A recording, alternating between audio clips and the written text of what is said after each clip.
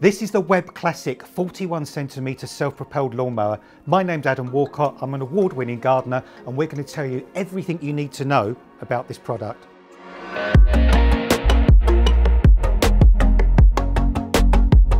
This is everything you'll find in the box. We've got the main machine, we've got the upper handles, the lower handles, the fasteners, the cable ties, spark plug spanner, grass collection box and the all important instructions that we ask you to read before assembly and before you use the machine. We are now attaching the lower handles to the main part of the machine, pushing through the bolt, then partial washer over the top of the bolt, then the fastener on the end and tighten until nice and firm. That way you've secured the handle nicely to the machine and repeat the same on the opposite side as we've done here.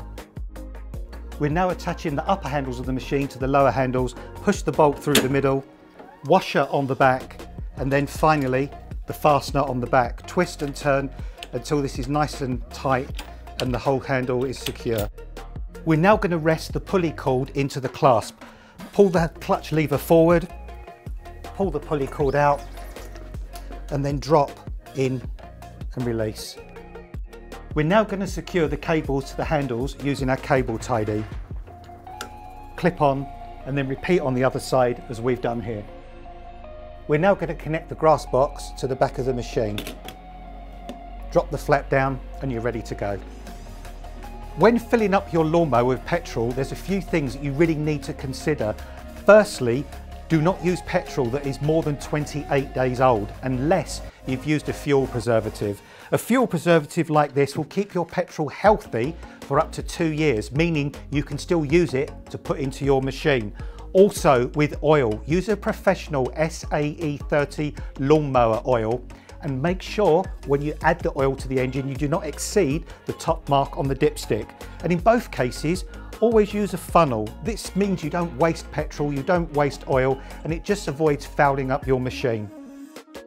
We're now going to talk about the wonderful features on our Webb lawnmower. First of all, this wonderful easy grip handle. On a really, really cold day, so much more comfortable than gripping onto cold metal. This is a self-propelled machine as well, so you don't need to push this. This will glide along itself, making cutting even quite larger gardens really easy and simple to do. Moving further down, we have the 45 litre mesh grass box. And the mesh grass box is really important because it creates wonderful airflow, meaning that all the leaves, the debris, the petals are going to be sucked up and thrown right to the back of the grass box. Less trips to the compost heap, less black bags, less stuff to put in your brown bin, for example. Also, we've got a 41 centimetre steel blade under a steel deck on this lawnmower as well and a one lever height adjustment at the side here taking you through seven different heights from 25 millimeters to 75 millimeters. Also 132cc engine on this as well. So this is a really really powerful lawnmower that's going to give you fantastic results for year after year. This is one of many of our Webb garden power products. For any questions please leave a comment below or please subscribe for more gardening tips